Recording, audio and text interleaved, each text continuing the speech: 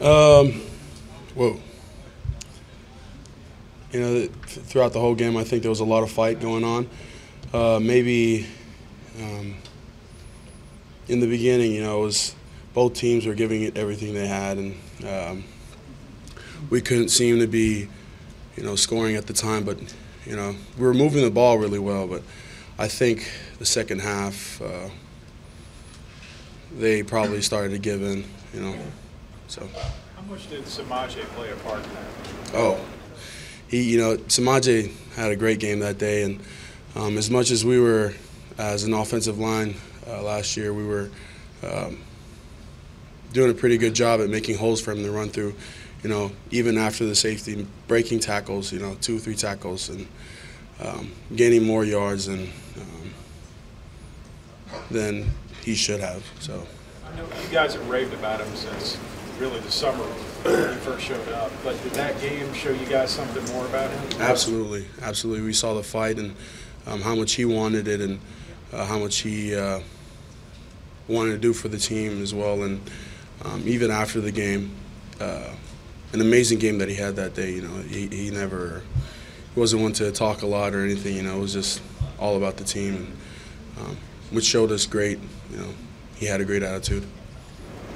Neil, I know it was a couple years ago, but after you made your first start on the line, did some did anything change for you? Did you see the game differently? You know, guys like Alex did it past weekend. Yeah. Um, um, after my first start, you know, I think after every year, you sort of, as an athlete, you. Uh, I don't know if it goes for everybody. It's like a light bulb goes off in your head, and you sort of see the game in another way and uh, a higher level, and uh, it becomes, uh, it flows better, and so you're more confident in what you're doing and um, what steps you need to take to make a block and how you need to um, approach a certain block and stuff like that. So.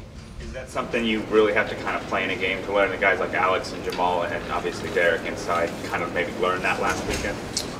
You say plan on it? No, something you can only learn when you play in a game. Um, Light bulbs.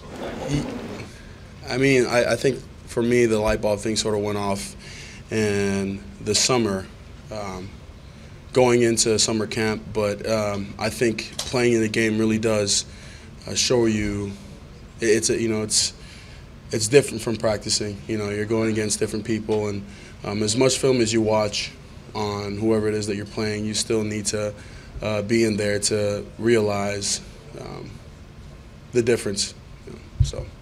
Neil, have you uh, watched much tape on these guys on West Virginia yet? Uh, yep.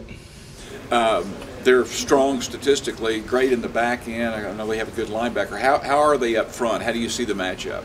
Um, you know, they have some guys returning um, this year, uh, which, you know, brings experience with them and uh, seeing that we have some younger guys um, on the offensive line. But um, I think with the experience that they have, um, it'll be an advantage and something that we uh, need to take into perspective and consider it. So.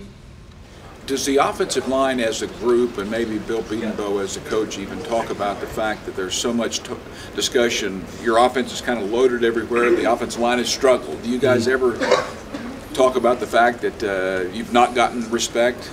Uh, you know, it's it's definitely something we've talked about, but I think as an offensive line, we uh, um, sort of take it personal. You know, try to make it personal and um, try to make those gains and um, do the things that we need to do with whether it's film or in practice, practicing harder or watching more film and uh, just learning how to perform more and uh, maybe even talking, uh, me and Ty talking to the younger guys and how it um, should look like and you know being that example for them. So.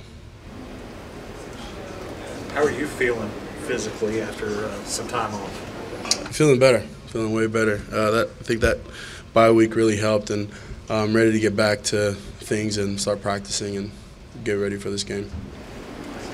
Have you seen the difference with Alex and Jamal because of the fact they were able to get that playing time against Tulsa? Yes, yeah. I, I mean, I think uh, they've now sort of realized how much work it takes and um, being um, in that front position and the pressure that it takes and uh, what you need to do as uh, when you're when you're actually in there and playing and stuff like that. How much you need to focus on technique and uh, you know things like getting low pad and stuff like that. So I think it's it's really giving them a perspective and uh, sort of um, how to look at everything now. You know, getting prepared. Anything else for Neil? Thank you, Neil.